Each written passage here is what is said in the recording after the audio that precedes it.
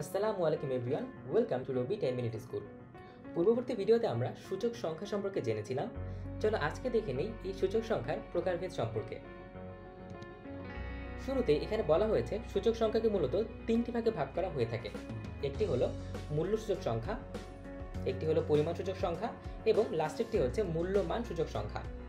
চলো আজকে এই তিনটি সূচক সংখ্যার বিস্তারিত একটু জেনে আসি। প্রথমে আসছে মূল্য সূচক সংখ্যা। যে সূচক সংখ্যার সাহায্যে সময়ের দুটি ভিন্ন পরিসরে কতগুলো দ্রব্যের মূল্যের আপেক্ষিক পরিবর্তন পরিমাপ করা হয়, তাকে মূল্য সূচক সংখ্যা বলা হয়ে থাকে। তাহলে এখানে যেহেতু আমরা মূল্যের আপেক্ষিক পরিবর্তন পরিমাপ করছি, তাই এটিকে নামকরণ করা হয়েছে মূল্য সূচক সংখ্যা হিসাবে। চলো এবার দেখে আসি এই মূল্য সূচক সংখ্যা আমরা কীভাবে নির্ণয় করতে পারি। ধরো তুমি যে সকল দ্রব্যের মূল্যের আপেক্ষিক পরিবর্তন পরিমাপ করতে চাচ্ছ সেই সকল দ্রব্যের ভিত্তি বছরের মূল্যকে পি নট বলা হচ্ছে এবং ওই সকল দ্রব্যের চলতি বছরের মূল্যকে পি এন বলা হচ্ছে। যদি তাই হয়, তাহলে মূল্যসূচক সংখ্যাকে আমরা এভাবে লিখতে পারব পি ও এন অর্থাৎ ভিত্তি বছরের সাপেক্ষে চলতি বছরের মূল্যসূচক সংখ্যা is to summation of P N এখানে আমরা কি করেছি? এই চলতি বছরের যে সকল মূল্য ছিল, সে সকল দ্রব্যের ওই মূল্যগুলোর যোগফল বের করেছি। এবং ভাগ করেছি কি দিয়ে? ওই সকল দ্রব্যের ভিত্তি বছরে যে মূল্যগুলো ছিল সেই মূল্যগুলোর যোগফল দ্বারা ভাগ করেছি এবং একশো দ্বারা গুণ করেছি। যদি আমরা এই কাজটি করি, তাহলে আমরা পেয়ে যাব ওই সকল দ্রব্যের মূল্যের আপেক্ষিক পরিবর্তন বা মূল্যসূচক সংখ্যা।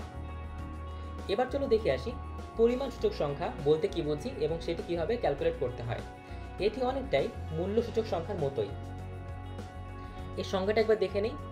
যে সূচক সংখ্যার সাহায্যে সময়ের দুটি ভিন্ন পরিসরে কতগুলো দ্রব্যের পরিমাণের আপেক্ষিক পরিবর্তন পরিমাপ করা হয়, তাকে পরিমাণ সূচক সংখ্যা বলা হয়। দেখো, সংজ্ঞাটিও অনেকটাই মূল্যসূচক সংখ্যার মতোই, শুধুমাত্র পার্থক্য রয়েছে এই পরিমাণের আপেক্ষিক পরিবর্তনকে আমরা পরিমাপ করছি। যেহেতু পরিমাণ নিয়ে আমরা এখানে কাজ করছি, তাই এটাকে বলা হচ্ছে পরিমাণ সূচক সংখ্যা।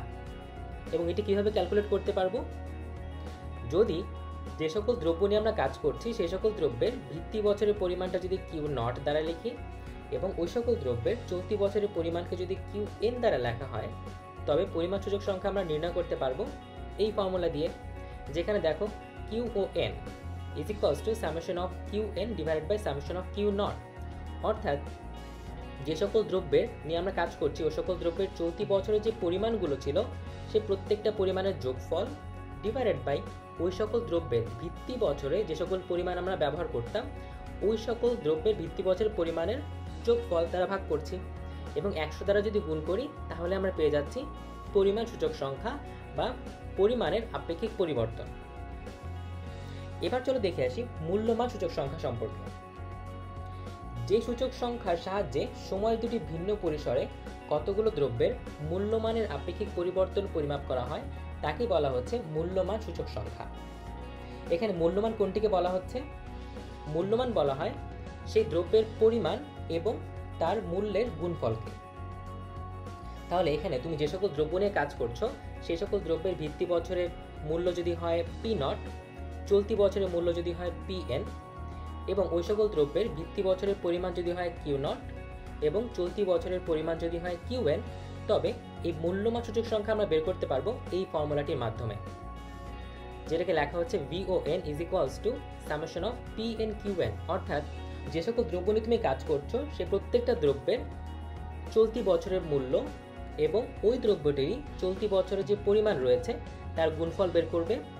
এভাবে করে যতগুলো দ্রব্য নিয়ে তুমি কাজ করছ, প্রত্যেকটার জন্য এই গুণফলটি আসবে। সেই গুণফলের যোগফল এখানে বের করতে হবে।